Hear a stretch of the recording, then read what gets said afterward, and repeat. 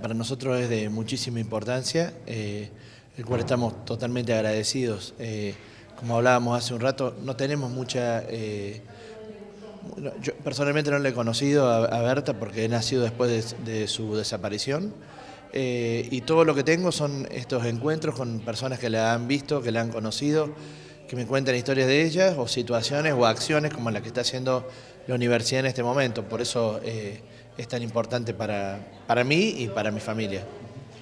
Recuérdenos por favor acerca de lo que usted ha escuchado, ha conocido, eh, si nos pudiese recordar eh, quién era Berta. Eh, tenemos entendido y sabemos que Berta ha dejado una profunda huella dentro de toda la comunidad. Sí, en realidad Berta ha sido una alfabetizadora, militante, trabajadora y estudiante, aparte de, de, hermana, hija y amiga, ¿no? La cual, bueno, ha hecho mucho trabajo social, ha trabajado mucho aquí en Río Cuarto. Eh, ella no desaparece aquí en Río Cuarto, desaparece en Córdoba porque acá fue amenazada eh, y se, fue a Córdoba, que creo quizás que fue un lugar peor todavía. Eh, pero bueno, siempre trabajando de lo social, ahí trabajó durante un corto periodo, hasta antes de su desaparición, en lo que tuvo que ver con la militancia y con lo, con lo que tiene que ver con los trabajadores.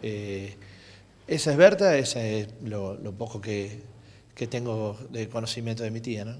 ¿Estos acontecimientos ayudan, son una caricia al alma para la familia? Es lo que, lo, que, sentimos, es que ser reconocida y ser nombrada ya para nosotros es muy importante.